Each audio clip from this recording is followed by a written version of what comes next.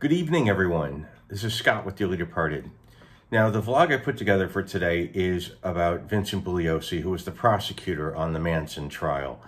Uh, he was one of my heroes for decades. Uh, as you'll hear throughout the video, actually, as you'll hear throughout the video, uh, you're going to hear a lot of wind noise. And I'm so sorry about that. I have been doing this you know, granted, not for very long, but I've tried different cameras, I've tried different microphones, several different microphones, several different methods, and I can't perfect it. So you're going to hear wind noise. I apologize. I thought I had uh, positioned the microphone properly, and so it wouldn't get any wind anyway. But Forest Lawn's windy anyway.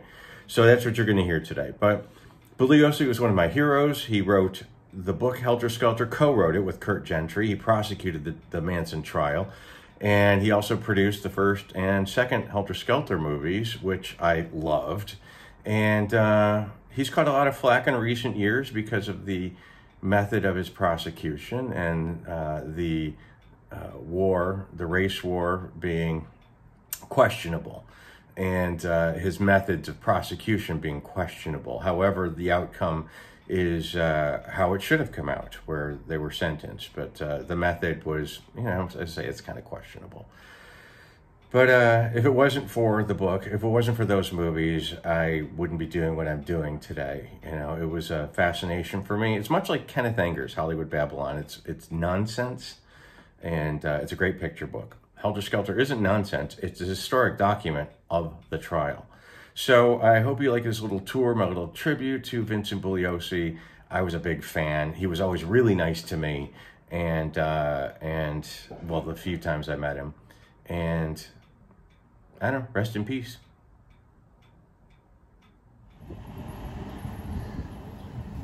So this is the Glendale home where Mr. and Mrs. Bugliosi lived for 20 years. They sold it in 1998 for uh, $700,000. It's a 3,400 square foot house. It was built in 1939. But this is where the Bugliosis were living during the trial when he was prosecuting the Manson case. And they had undercover police officers uh, outside and, and supposedly a, a hotline to the police department from here in case their phone lines were cut during the trial because there was a lot of scrutiny, a lot of uh, death threats, no doubt. Uh, and this is where they lived until they sold it in 1998 and moved to Pasadena.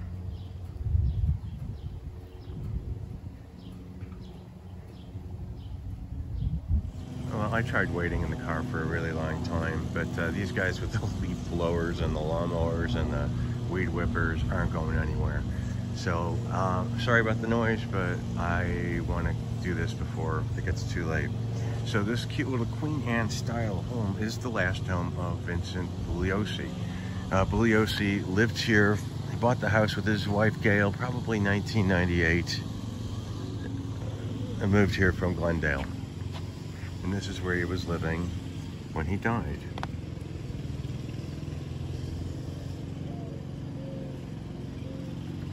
Cute little house. So you can see he would have down he would have wanted to downsize from the one in Glendale.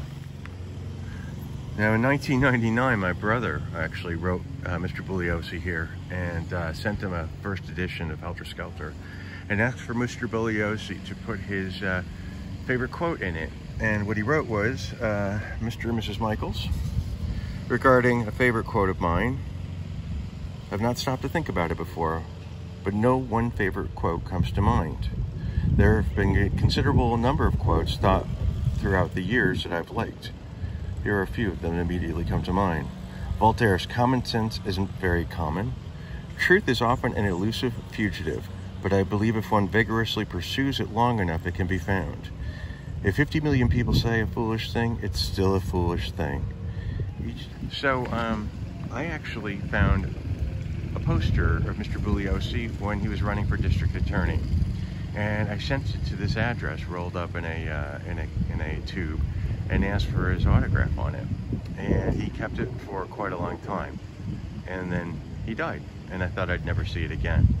Then, a couple of months after he died, that package arrived. The tube arrived, signed by Mr. Bugliosi. The poster was signed. So uh, he must have signed it and left it here. Maybe someone else found it and decided to uh, to finish up his work and stick it in the mail. I don't know what it was, but it showed up after he died. And it's pretty cool he got that signed by him. So this is the last home of Mr. Bugliosi, the last home while he was alive. He lived here when he died.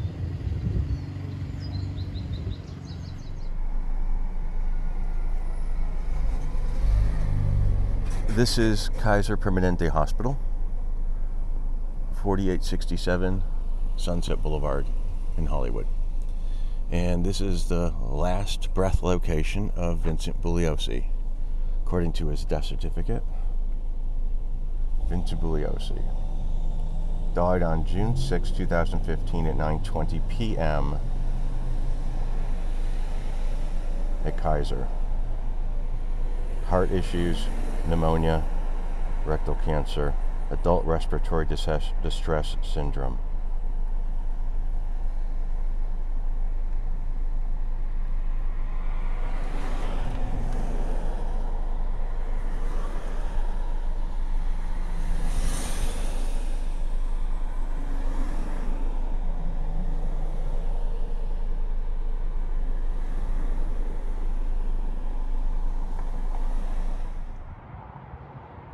So we're in Glendale, at Forest Lawn, Glendale, behind the Freedom Mausoleum. We're heading down to the last home of Mr. Bugliosi.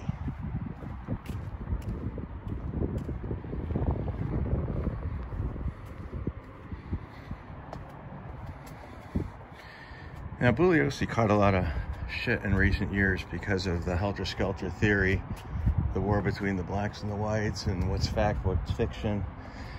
But the book Helter Skelter is, as my friend Michael pointed out, the truth of the trial. It's exactly what happened at the trial, during the trial, what they used to prosecute, what they used to find Manson and the others guilty. So it's an excellent resource. That's what I read it a couple of times when I was still living in Detroit. But I'm just saying, we've learned, learned a lot since then. And I wonder about a lot of things.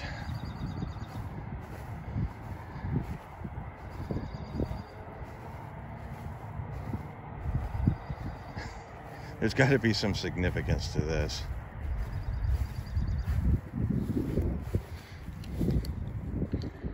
Vincent Bugliosi with two tennis balls. I don't even... So whoever left these things here, forgive me. I'll put them back when I'm done. Don't understand the significance. But here's uh, Mr. Bugliosi. And this is my copy of the book Helter Skelter that um, I had him, he autographed for me, I think, when I met him one of the times. Uh, yeah, in fact, uh, the second time I met him is when uh, his wife recognized me from the girls next door because uh, Mr. Bugliosi's wife used to play bridge at the Playboy Mansion, and so she knew Hefner and the girls, and, and Mrs. Bugliosi came up to me and said, "Oh yeah, I know you from that show." So uh, August 18th, 1934, interesting to note, Mr. Bugliosi's birthday is the same as Roman Polanski's birthday. Died June 6, 2015. In the eyes of the world, the great majority of men are neither indispensable nor irreplaceable. A small minority are irreplaceable, but not indispensable. Our much-loved husband and father was both, forever enshrining him in the rarefied pantheon of greats. Let my work speak for me. So uh, thank you, Mr. Bugliosi, for the for the account of the trial and for your book and ultimate movie, Helter Skelter, because if it wasn't for that, I wouldn't be here today.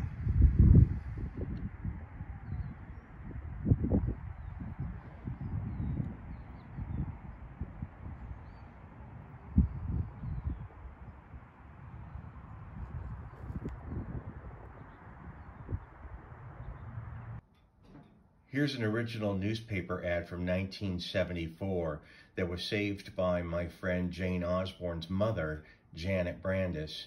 Uh, she clipped it from a newspaper, and when Janet, rest in peace, passed away, uh, Jane gave this to me.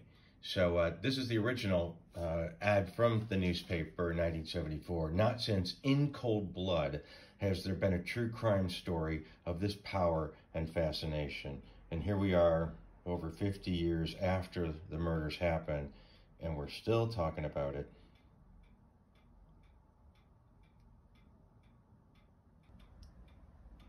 Thank you, everybody, for watching. Thank you for subscribing.